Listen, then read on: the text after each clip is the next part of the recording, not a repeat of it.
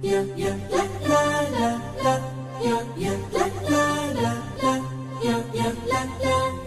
la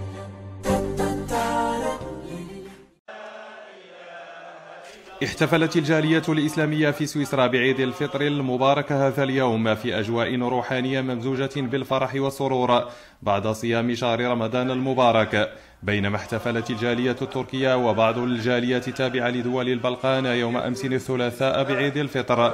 فما مرد هذا الاختلاف بين الجالية المسلمة في سويسرا حول عدم توحيد يوم عيد الفطر المبارك. أقول أن مرد هذا الخلاف يرجع إلى بعض الجهات التي تعتمد على الحساب وهناك جهات أخرى تعتمد على الرؤية وهناك رأي ثالث يوحد بين الحساب والرؤية. فبالنسبة للإخوان الإتراك والبلقان فهم يعتمدون على الحساب.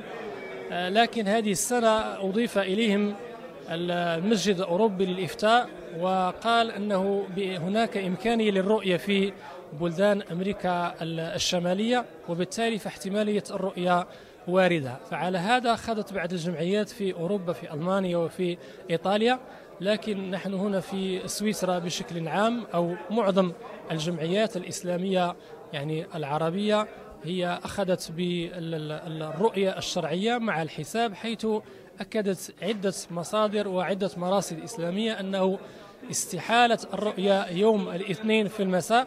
لذلك أعلنت كثير من الدول العربية والإسلامية عدم رؤية الهلال يوم الاثنين فبالتالي كانت كان يوم الثلاثاء هو يوم الثلاثين المكمل لشهر رمضان. وبعد نهاية خطبة العيد التي حث فيها الخطيب عموم المسلمين إلى اتباع السنن التي يستحب فعلها في العيد داعيا إلى نشر قيم المحبة والسلام في المجتمع ووسط جو تسوده الفرحة والإيمان هنأ المسلمين بعضهم البعض بالعيد سائلين الله أن يتقبل صيامهم وقيامهم. العيد لنا في سويسرا يختلف على الأعياد في دولنا العربية لكن دائما نحن هنا نحاول أن نكون يعني أقرب للأجواء اللي في الدول نتاعنا. يعني هنا الحق يعني أجواء جميلة جدا أجواء يعني احتفالية رائعة. في اكل وشرب وفي يعني أطفال وفي يعني جو قريب للعيد اللي في دولنا. لكن دائما يبقى يعني العيد اللي في دولنا يعني يعني دائما يبقى عيد عيد يعني.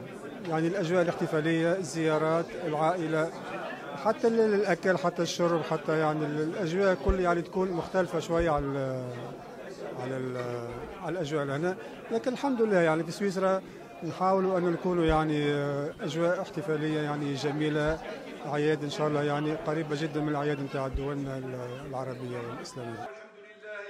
وصادف عيد الفطر لهذا العام يوم عمل لذا فإن الاحتفال به بالنسبة للعديد من العمال والموظفين والتلاميذ غير ممكنا لذلك فإنهم يقتصرون على أداء الصلاة والعودة مباشرة بعدها إلى أماكن عملهم أو إلى مقاعد الدراسة.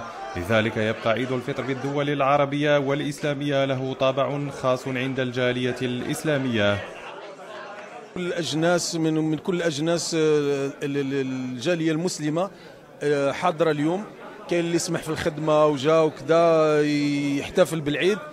والحمد لله ولو أن طبعا يبقى ذاك النقص ما كاينش العائلة ولا كاين اللي عنده العائلة كاين اللي ما عندوش الأغلبية كما عارفين العائلة عندهم في هناك في البلد الأم.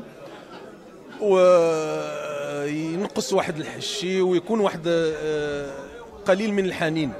لكن آه الله يخلف على هاد الناس الساهرين على هاد الأجواء اللي اللي يوفروا لنا هذا الجو وهاد الظروف. كنحسوا كوم بشوية العيد. لأن ولو تخرج واحد المتر من هنا على المسجد كأن شيء لم يكن. ما تحس حتى بشي حاجة. وتأمل الجالية الإسلامية أن يتم الاعتراف بالعيد كعطلة رسمية للمسلمين في سويسرا حتى يتسنى لهم الاحتفال بأعيادهم الدينية. ورغم كل الأحوال فإن فرحة العيد وبهجته لا تغيب عنهم مهما كان طابع الحياة التي يحيونها والظروف التي يعيشون فيها.